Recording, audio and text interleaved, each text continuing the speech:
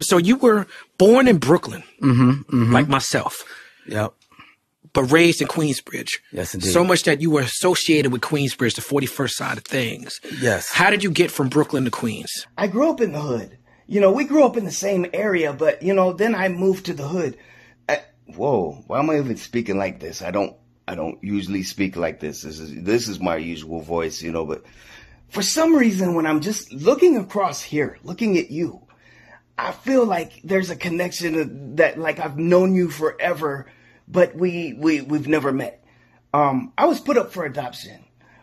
There's not much I know about my biological family other than my mother's name is Brenda. I have a successful family. I've got two brothers I know for sure.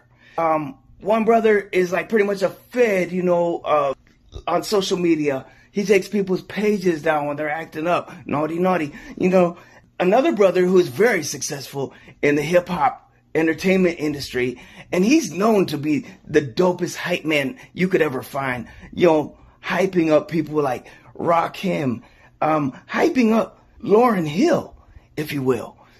And it's incredible because that's what I aspire to be. You know, I'm really struggling with this this whole voice thing that keeps happening. I don't know why.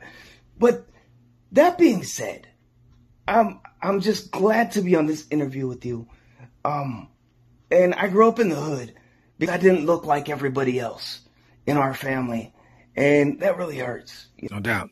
For Queensbridge, that might be the most famous projects of all time.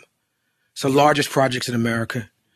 Um, what were the highs and lows of living and growing up in Queensbridge? In Queensbridge Projects was like a wake up call. My family don't want me, obviously, because I don't look like none of them. And then I come over to Queensbridge Projects, and they said I I don't fit in. You know, my my image seems to stand out like a sore thumb. So what am I supposed to do? You know, but I feel comfortable here. You know, this, this is I don't know. It almost feels like family. You know, um, but just bear with me.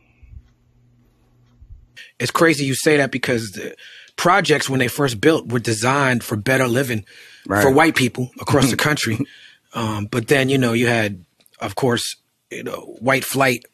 Uh, when black people started getting a little bit of money and black people started moving in projects and white people lead the projects. And then once black, once the projects in the country become black, then we don't have the resources anymore. Right.